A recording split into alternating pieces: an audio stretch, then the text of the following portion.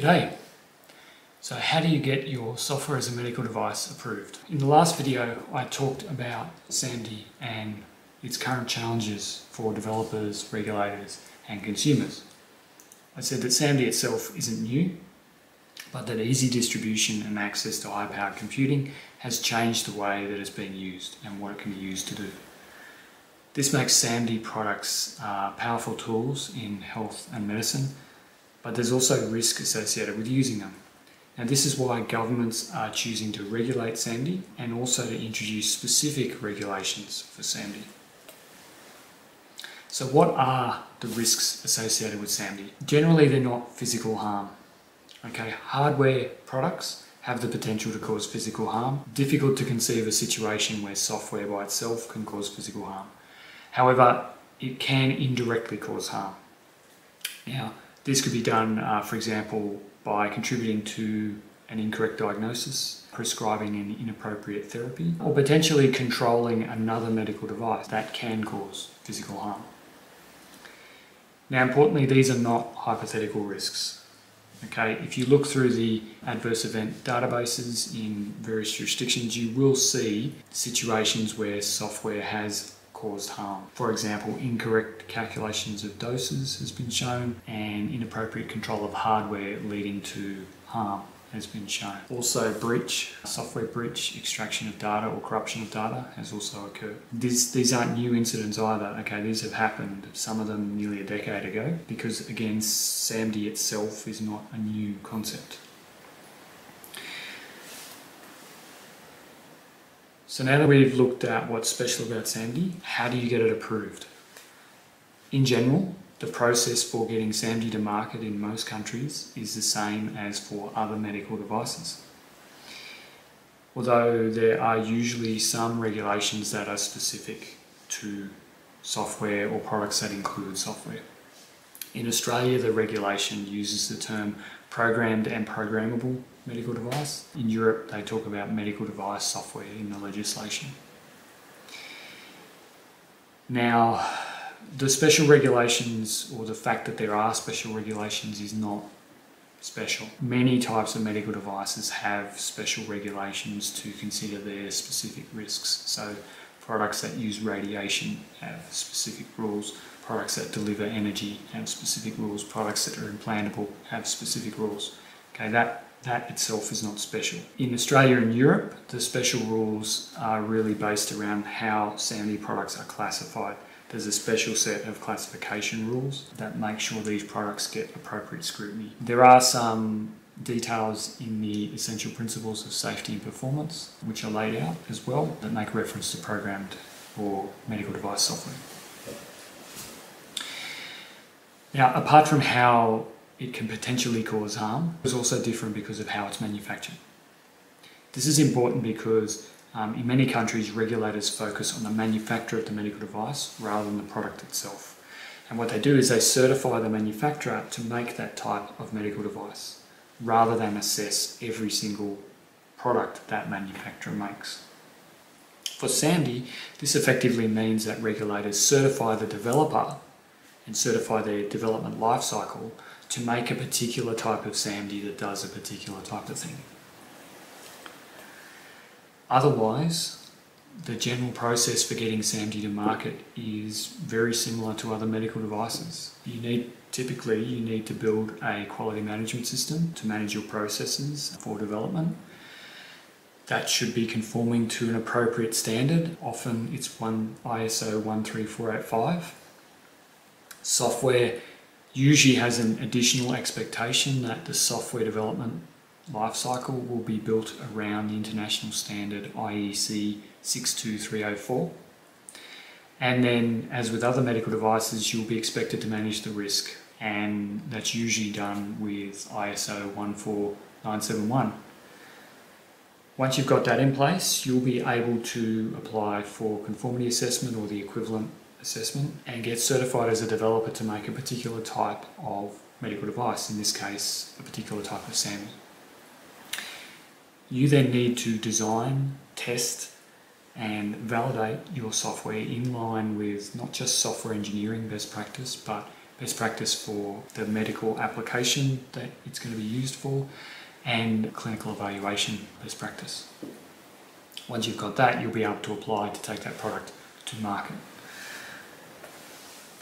Now, the exact process will, of course, differ between jurisdictions, okay, but in countries that are members of the International Medical Device Regulators Forum or the IMDRF, that general process will be the same and the underlying principles will be the same.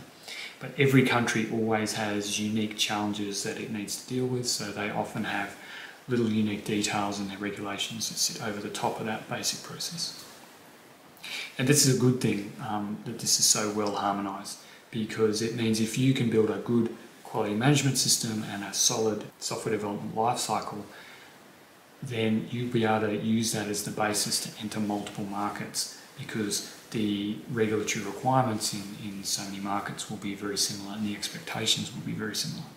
There's also very good international standards like the ones I mentioned just before, which give developers and manufacturers good guidance on how to build those systems.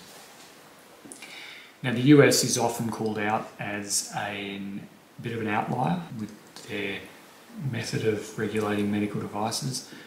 This is because their focus tends to be very much more on the product itself.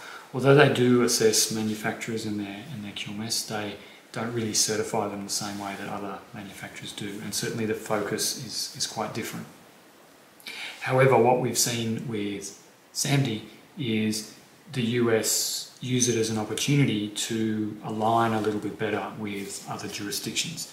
And they've introduced their pre-certification program for SAMD developers, which in essence allows you as a developer to be certified to make a particular type of SAMD rather than having to get every product assessed. Now, although the the focus is on the developer, the, the manufacturer. The high risk products or the products with the potential to cause more severe harm will often be required to undergo design examination. In Australia and Europe, that's class 3 medical devices, so if your SAMD is class 3, it's likely to need a design examination by the regulator or the competent authority. The basic process though is the same as for other medical devices. You will compile a dossier or technical file, sometimes called medical device file, and you will submit that for examination. The assessor will determine if it meets the um, requirements for that kind of product, and if it does, you'll be certified and you'll then be able to take the product to market. The other big difference with SAMD is, and software in general, is how it's updated and revised. Okay, with, with physical products, to revise them, you change the design and you validate. Then, to get it manufactured, you will need to change and revalidate your manufacturing line. You'll need to produce physical product before it goes to market.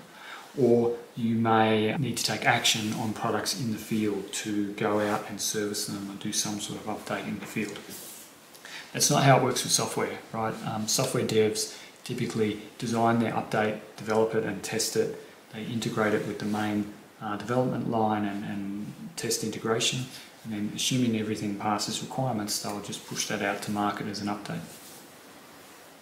Because of that, I often get asked the question, does a regulator have to assess every single change I make to my product? In most countries, generally, the answer is no. Okay. Now this is again because of the focus on the developer. Okay, if you've got a conformity assessment certificate or, or equivalent certification, you've been assessed by a regulator as and certified to develop that kind of SAMD. Okay, so they've said yes, we trust that you've got the processes to risk assess, to control design, to appropriately control production and release, and that you have an appropriate software development lifecycle. Okay, so the focus is on you as a developer, which means you as a developer need to assess all changes made to your product for their risk and their impact on performance and safety.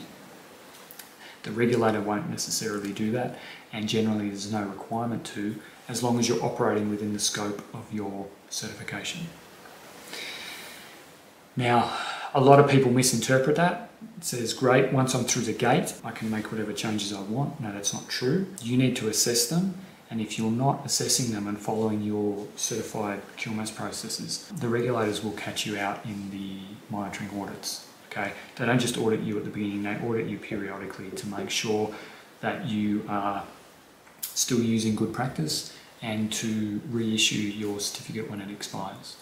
Okay. All of that said, there are reasons where you will need to tell the regulator about what's going on. Typically, they fall into two categories. The first category being reportable incidents like adverse events, recalls, and other things related to safety and essential performance. Okay, many jurisdictions will have requirements for incidents that must be reported to the regulator. And usually there will then be some process to collaborate with the regulator to help resolve that issue or get information out to your customers or, or that sort of thing. The other category is typically for those high classifications, so class threes in Australia. They've undergone a design examination, so the, the design itself has been looked at by the regulator. There'll often be a requirement in those jurisdictions for those same products to have significant design changes assessed before they go to market. Now, you as a developer are expected to be able to make the assessment on whether something is significant or not, but you can always seek, you know, assistance from the regulator there. But you can expect that if you've got a product that, that had to be assessed to get into market, that big changes that affect the safety or essential performance of that product will need to be assessed by the regulator. But that doesn't mean even for those products that every single update needs to be assessed. Okay, if they're minor things that have no impact on safety or performance, you may be able to make those updates without assessment. So that's a summary of getting SAMD into the market, getting it approved. Once again, as we see, although the SAMD products themselves that we see coming out are new and interesting and making big changes in health and medicine, there isn't a whole lot that's special about the way they're regulated. They use the existing mature process in most countries. As always with regulation, you need to look specifically at the requirements for your product in the market that you're selling it into. I'm Dr. Lee Walsh from Platypus Technical. Thank you for watching and please let us know what you'd like to see in future videos.